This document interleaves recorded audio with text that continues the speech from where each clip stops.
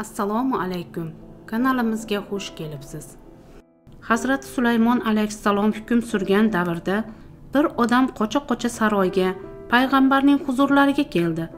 Rangi o'chib qo'rquvdan dir dir titragan holda sulaymon alayhissalomdan o'ziga yordam etishni istadi. Hazrati sulaymon alayhissalom u odamdan so'radilar senga nima bo'ldi o'zi? Seni bunchalar qo'rqitgan narsa nima? Odam azroil menga shunday g'azab bilan boqdiki jonimni olmog'idan qo'rqdim. Qochib sizning yoningizga keldim dedi. Hazrati sulaymon alayhissalom mayli mendan nima istaysan dedilar.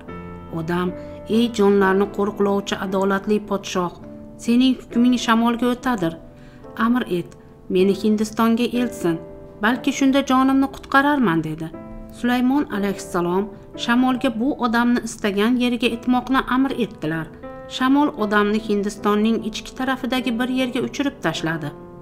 Ertasi kun majlis qurib hamma sulaymon alayhissalomning huzurlariga to'plandi. Hazrati sulaymon alayhissalom azroilga kecha meni yonimga bir odam keldi. Unga g'azab bilan boqqaningni so'yladi.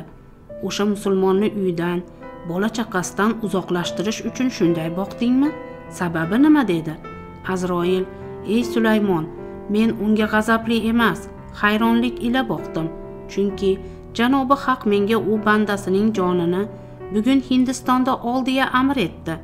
Men ham u odamni bu yerda ko'rib o'z o'zimga hayron bo'ldim. Bu odamni bu yerda nima ishi bor? Yuzlarcha qanoti bo'lsa ham hindistonga bormog'i ko'p mushkuldir dedim. Shuning uchun bu odamga ajablanish va hayronlik ila boqdim. Faqat hindistonga kelganimda odamni u yerdan topdim.